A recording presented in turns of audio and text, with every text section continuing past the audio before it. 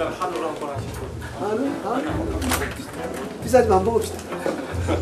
제가 어, 먹으세요? 예. 뭐 먹으세요? 오리고기 먹습니다.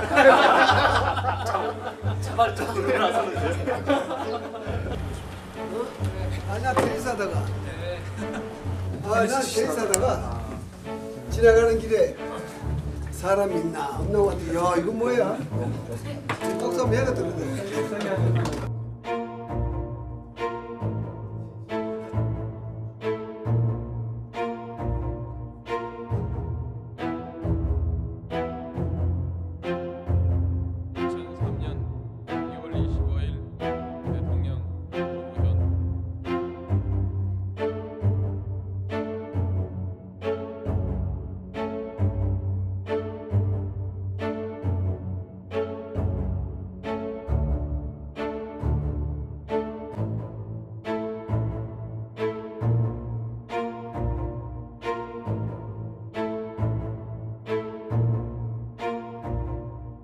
제 상식으로, 제 양식으로 과연 이 사람이 대한민국 대통령인가? 난 솔직히 인정하고 싶지 않은 심정이라는 걸 내 여러분들에게 말씀드리지 않을 수 없어요.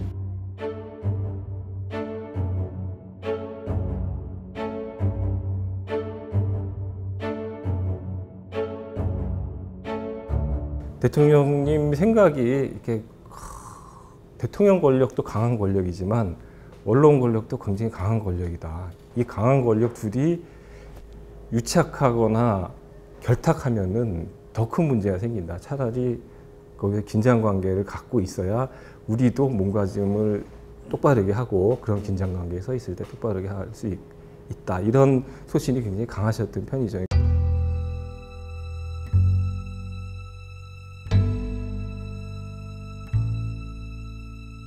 군사 독재가 무너진 이후에 언론이 새로운 권력으로 등장해서 시민과 정부 위에 군림하는 것 같습니다. 저는 특권과 반칙의 구조를 해소해야 한다는 이 시대적 과제를 정통성 있는 정부라면 사명감을 가지고 해야 한다. 저는 우리 언론이 정확하고 공정한 언론, 책임 있게 대안을 말하는 언론, 그리고 보도에 대해 책임을 지고 정치 권력이 아니라 견제의 권력으로 시민 권력으로 돌아가고 사주 언론이 아니라 시민 언론이 될 때까지 제가 할 수 있는 모든 노력을 다 할 것입니다.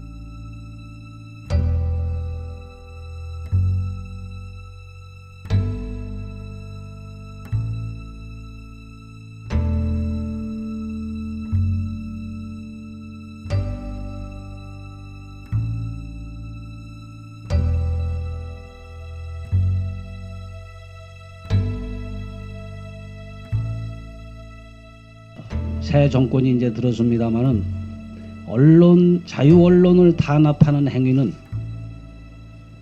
반드시 대가를 치러야 치른다 하는 점을 새로운 정부에서는 보여줬으면 합니다.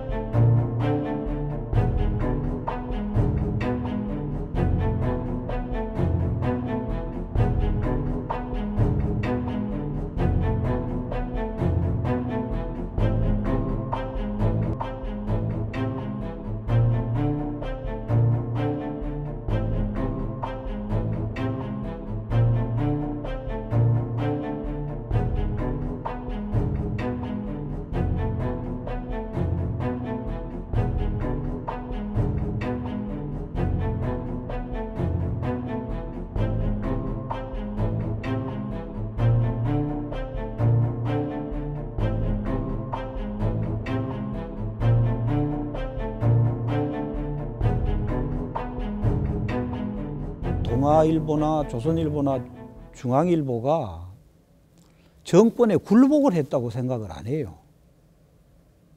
어느 시점 이후에는 스스로 권력 집단이 돼가지고 그런 강자의 권력을 대변하고 기득권자의 논리에 이념의 이데올로기를 제공하는 그 이 기지가 된 거예요.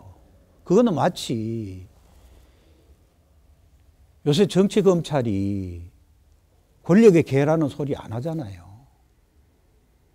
권력의 앞잡이라고 이야기하는 스스로 권력이 되어 있잖아요. 검찰하고 저는 똑같다고 봐요.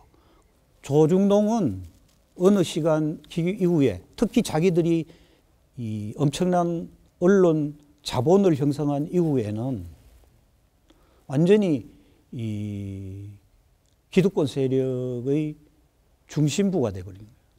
특히 종편까지 가진 이후에는 그 이 판이 더 커져 버렸어요.